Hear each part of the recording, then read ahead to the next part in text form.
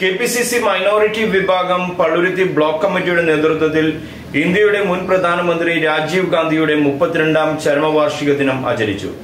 പുഷ്പാർച്ചനയും അനുസ്മരണ സമ്മേളനവും D C C general secretary N R Sreekumar ഉദ്ഘാടനം ചെയ്തു. മൈനോറിറ്റി വിഭാഗം സംസ്ഥാന നിർവാഹക സമിതി അംഗം എ എസ് ജോൺ ചടങ്ങുകൾക്ക് അധ്യക്ഷത വഹിച്ചു.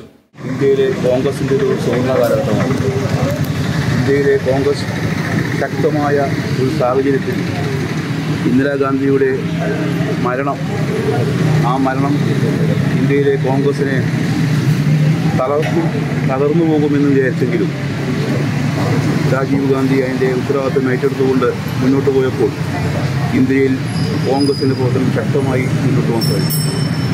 വെറുമൊരു പൈലറ്റായി ജീവിതം തുടങ്ങിയ നമ്മുടെ നേതാവ് രാജീവ് ഗാന്ധി ആയിരത്തി തൊള്ളായിരത്തി എൺപത്തി നാലിൽ പ്രധാനമന്ത്രി പദം ഏറ്റെടുത്തപ്പോൾ ആക്ഷേപിച്ച ആളുകളുണ്ടായിരുന്നു.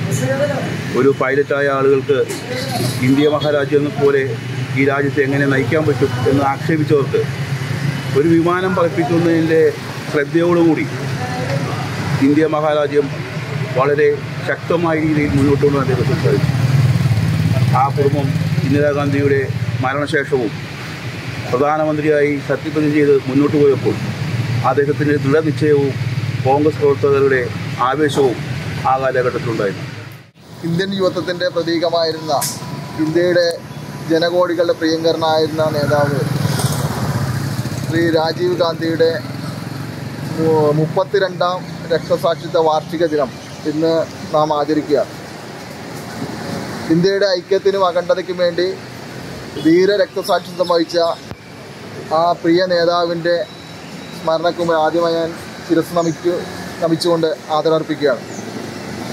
നമുക്കറിയാം വളരെ ആകസ്മികമായിട്ടാണ് രാജീവ് ഗാന്ധി ഇന്ത്യൻ രാഷ്ട്രീയത്തിലേക്ക് കടന്നു വരുന്നത്.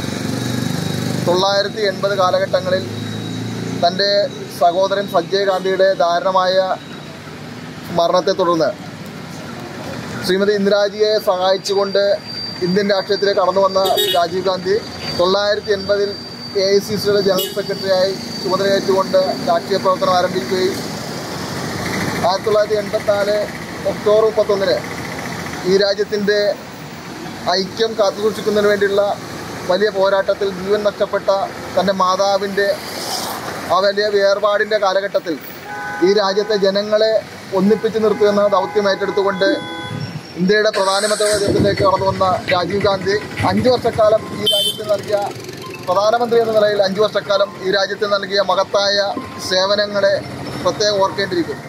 കൊച്ചിയിൽ നിന്നും മറ്റൊരു വാർത്തയുമായി വീണ്ടും കാണാം. റെഡ് ജൻ റബല്ലോ ലൈഫ് ന്യൂസ് കൊച്ചി.